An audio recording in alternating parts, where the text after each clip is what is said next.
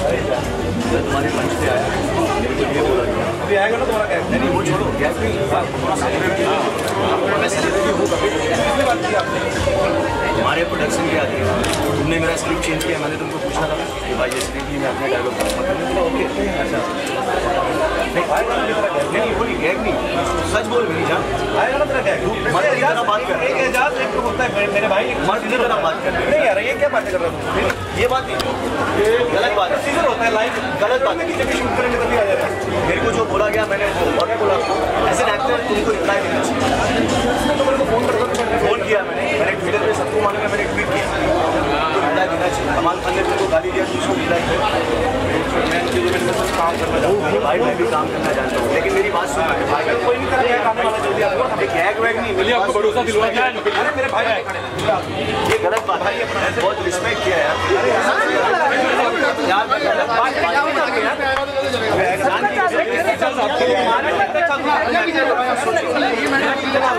चलो okay sir side side side please media media हाँ, बात हो गई कपिल नंबर चेंज हो गया था इसलिए मैंने रिप्लाई नहीं दिया। कपिल मुझसे कल से बात करेगा भाई अबे तेरे से हमेशा बात करता हूँ।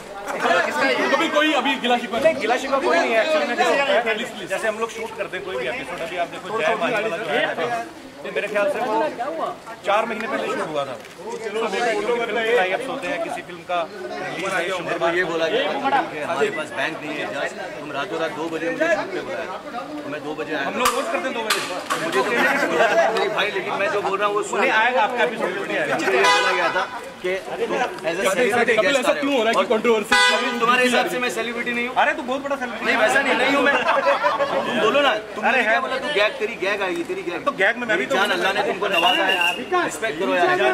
एक्टरों की रिस्पेक्ट करो भाई। रिस्पेक्ट करना चलो चलो चलिए कपिल भाई। कपिल जी कपिल क्या कुछ बातें हुई आपकी? हमें हमें इतना पता है। पहले जानना चाहेंगे आप कपिल जी से बात कर रहे थे काफ़ी नाराज़ दिख रहे थे उनसे। सी देखो गांधी जी भी नाराज़ थे ना? भगत सिंह भी नाराज़ थे तो अंग्रेज़ों को भगाया उन्होंने। आदमी नाराज़ कब होता है जब उसको तकलीफ़ होती है? कुछ उसका राइट्स नहीं मिलता है उसका हक नहीं मिलता है तो उसको तकलीफ़ होती है। कपिल मेरे हिसाब से एक ऐसे एक्टर है जो अभी अभी पनपे है। आप लोग सब जानते हैं, दुनिया जानती है वो भी, और उनकी जो सक्सेस है, उसमें हम खुश हैं यार। अल्लाह उनको और दे, लेकिन उनको हमारे जैसे एक्टरों की फीलिंग्स को समझना चाहिए। क्योंकि हमारी फीलिंग्स होती है, अगर हमको सेलिब्रिटी गेस्ट बोल के बुलाया है, और फिर हमको बोलेंगे, गैग है। दिस इज़ नॉट फेयर ये के नाइन प्रोडक्शन है।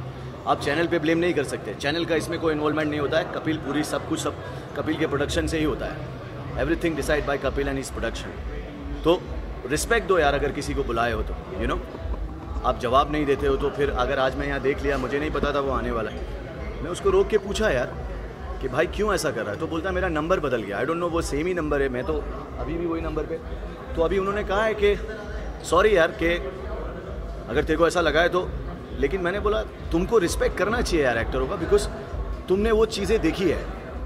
आज अगर आपके हिसाब से मैं सेलिब्रिटी नहीं हूँ इट्स ओके कपिल, जनता के हिसाब से मैं हूँ, और फैंस और जनता ही लोगों को बनाती है। मैं मैं कोई नहीं होता हूँ बोलने वाला। आज मैंने, आपने कपिल ने एक साल हुआ है कपिल को ये सक्सेस देखे हुए।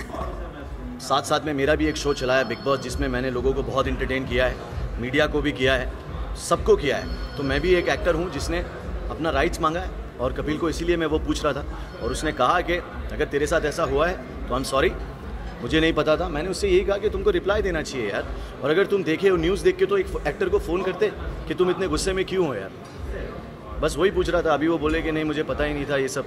आई डोंट बिलीव बट ठीक है, देखता हूँ। जिस तरह से मेरा एपिसोड आता है या एडिट करके आता है या कैसे आता है वो तो सब कपिल के हाथ में ही है। मेरे हाथ में तो कुछ है नहीं। कपिल ने एक अभी एक कपिल ने एक बात कही कि आपका जो शो होगा वो आएगा। अभी उन्होंने हालाँकि काफ़ी मारा पाटी थी लेकिन उन्होंने कहा कि आएगा शो तो आपसे आपसे लिफ्ट में भी उन्होंने कुछ बात कही कि अ, नहीं उन्होंने लिफ्ट में मुझसे यही कहा कि इजाज।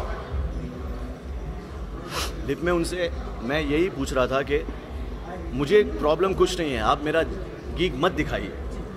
मैंने उनसे ये कहा कि मैं ये चाहता था कि अगर आपके 10 बिलियन फैंस हैं, मेरे 3 मिलियन होंगे तो वो 13 मिलियन लोग ये देख के बहुत खुश होंगे कि एक नंबर मानस और बाबा जी का ठुल्लू, क्योंकि लोगों को मेरी भी कॉमेडी और मेरी टाइमिंग पसंद है।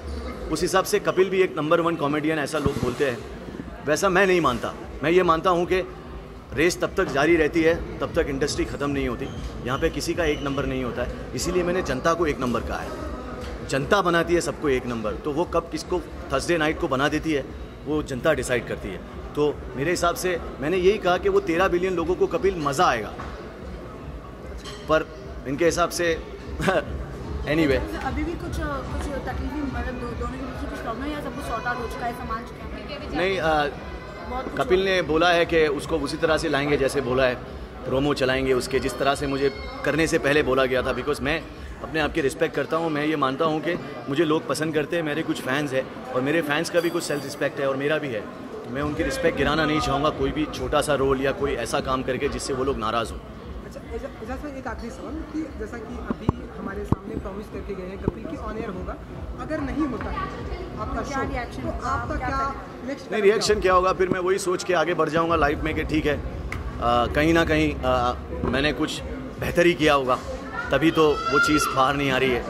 और अगर ऐसा नहीं है तो वो आएगी बाहर और उसी तरह से आएगी जिस तरह से शूट हुई है क्योंकि एडिटिंग तो मेरे हाथ में नहीं है और उसको कैसे दिखाना वो भी मेरे हाथ में नहीं है। तो जैसे वो दिखाएँगे उस पर डिपेंड करता है।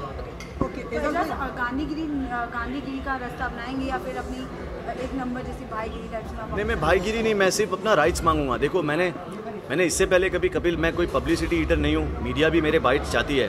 मैंने जिस आदमी का भी नाम लिया मैं सिर्फ़ अपने राइट्स सबके सामने माँगता हूँ। ये मेरा है, अगर मेरा कुछ है, मैं कोई आई एम नॉट कोई सम चीप पब्लिसिटी ठीक करके मेरे को उससे पब्लिसिटी चाहिए। मैंने तो सिर्फ़ उनसे जो एक फॉर्मल तरीका होता है, उस तरीके से पूछा है। और उस तरीके से मैंने उनको पूछा, उन्होंने जवाब नहीं दिया। तो मैं आज यहाँ पे उनसे मिला तो मैं उनसे पूछा।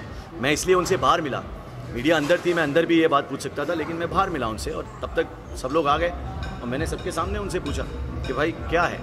उन्होंने कहा कि ये, मुझे नहीं पता था, मेरा नंबर बदल गया है।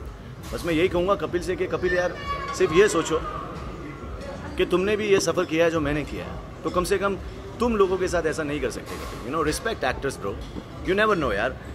हर अच्छी चीज़ का अंत होता है कपिल। हम सब का अंत होगा।